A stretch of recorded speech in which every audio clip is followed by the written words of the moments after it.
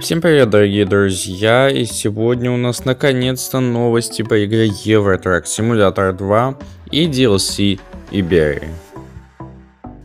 Последнее время SCS Software очень уж дозирует, конечно, новости по DLC Iberia, оно и понятно, э, потому что DLC ожидается у нас только в конце ноября, начале декабря этого 2020 года, но уже во втором полугодии, то есть э, вот в этом, которое сейчас началось, после выхода DLC э, Айдаха для American Truck Simulator, я думаю, новостей будет побольше, и они будут более интересны.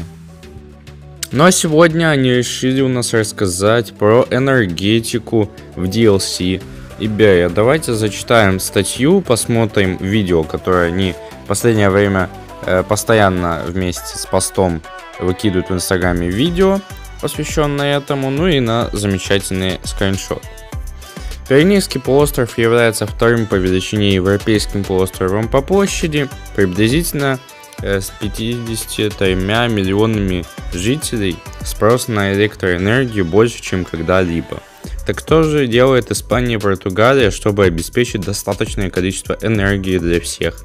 Одним из многих способов достижения этой цели является использование современных источников энергии вместо традиционных источников, таких как уголь для выработки электроэнергии. Одним из наиболее популярных современных источников энергии являются солнечные панели, которые используют солнечную энергию в качестве источника электричества. Эти области, покрытые тысячами солнечных панелей, обеспечивают значительную часть электроэнергии Испании. Другим источником энергии, типичным для Пиренейского полуострова, является ветер. Эти мощные ветряные турбины могут производить достаточное электричество для питания около полторы тысячи домов. Конечно, есть и другие источники, вырабатывающие электроэнергию, чтобы удовлетворить весь спрос. И мы предлагаем все усилия, чтобы представить эту важную отрасль в предстоящем DLC Iberia для ETS 2. С каждым DLC SCS Software, конечно, пытается э, добавлять какие-то новые префабы, даже не пытается, а успешно это делает и в большом количестве. Э, ну и они решили заняться, да, если у нас витайки, так называемые, уже существуют в игре очень давно, то солнечных батарей я не припомню. Тем более, судя по э, некоторым скриншотам, к ним прям можно будет подъехать. Это, по-моему, очень круто.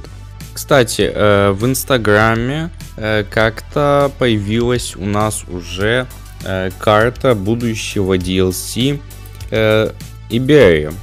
Эта карта появилась в аккаунте Toby Gaming, когда они проводили совместный ивент с SCS Software. Потом это удалили.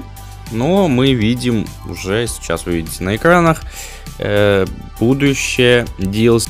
Э, может для кого-то эта информация оказалась полезной. Ну а на сегодня все. Ставьте лайки, подписывайтесь на канал, пишите комментарии. Всем удачи, всем пока.